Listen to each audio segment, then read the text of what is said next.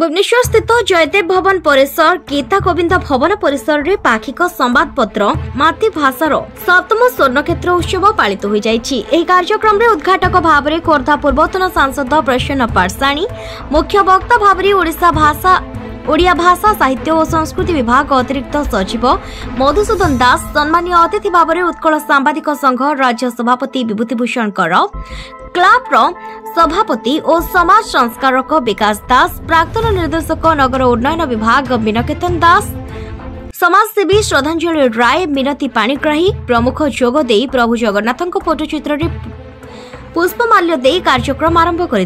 মাটি ভাষা নিরবচ্ছিন্ন ভাবে সত্য ধর্ম ন্যায়কু পাথেয় করে বহু ঘাত প্রতিঘাত ভিতরে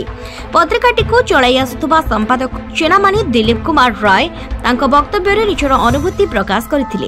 এই কার্যক্রমে এমবি টিভির মুখ্য সম্পাদক তথা উৎকল সাংবাদিক সংঘ যাজপুর জেলা সভাপতি হরিহর স্বাইঙ্ সমেত বহু প্রতিভাধারী ব্যক্তিবিশেষ মানপত্র উপঢৌকন পুষ্পগুচ্ছ দিয়ে সম্বর্ধিত করে শেষে